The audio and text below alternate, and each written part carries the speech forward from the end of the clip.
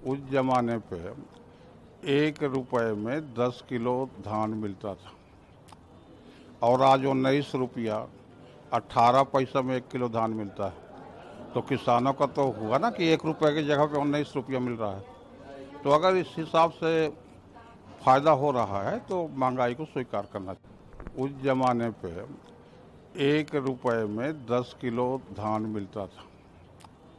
और आज उन्नीस रुपया अट्ठारह पैसा में एक किलो धान मिलता है। तो किसानों का तो हुआ ना कि एक रुपये की जगह पे उन्नीस रुपया मिल रहा है। तो अगर इस हिसाब से फ़ायदा हो रहा है तो महँगाई को स्वीकार करना चाहिए।